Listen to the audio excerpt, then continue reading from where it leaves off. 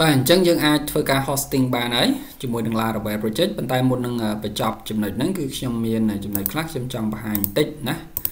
យើងអាចធ្វើថែមបាទទី1គឺតកតងទៅនឹង memcache នេះណា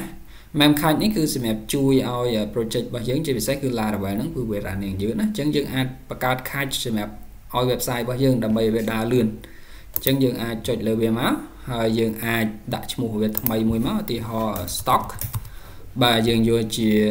TCP ទៅ instant វាគឺយើងអាចយកត្រឹម32ឬ64ទៅសម្រាប់ medium ណាបាទយើងចុច create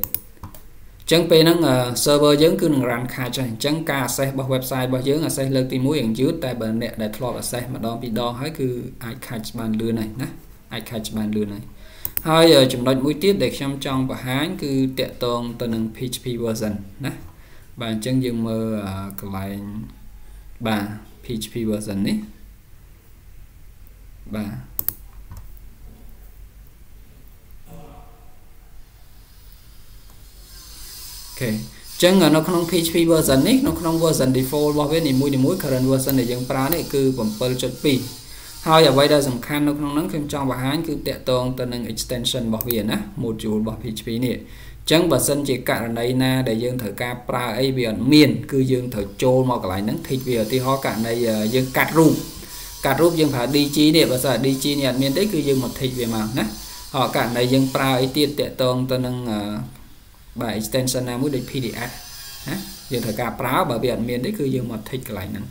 ណាធីកកន្លែងហ្នឹងណា ហើយយើងត្រូវការប្រើ UUID ណា module extension របស់ PHP អី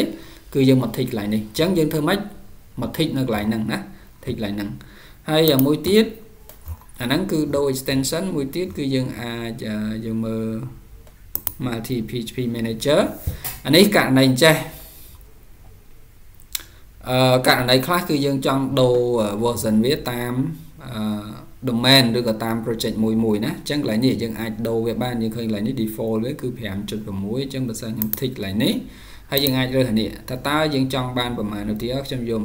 7.2ណាយើងអាចចុច apply ទៅគឺវានឹងដូរមកជា7.2អញ្ចឹងនៅក្នុងករណីខ្លះដែល website យើង hosting ដូចករណីអឺនេះណាករណី Laravel របស់យើងដែលប្រើ version ខ្ពស់ៗបើករណីវាអត់ស្គាល់វាចេញមក internal server error អី ទីមួយយើងអាចមកមើលកន្លែងហ្នឹងជួនកាល PHP version របស់វាគឺខុសខុសគ្នាណាអញ្ចឹងវាអាចអត់ run ទេអញ្ចឹងនេះយើងអាចដាក់ទៅគឺវានៅដើរធម្មតាណាដើរធម្មតាអូខេអញ្ចឹងតកតងការ hosting នេះ Laravel គឺខ្ញុំបង្ហាញប៉ុណ្ណឹងណាបង្ហាញប៉ុណ្ណឹងបន្តមកទៀតចាំយើងមើលតកតងទៅនឹងការប្រើប្រាស់ add on ហើយនិង sub domain ណា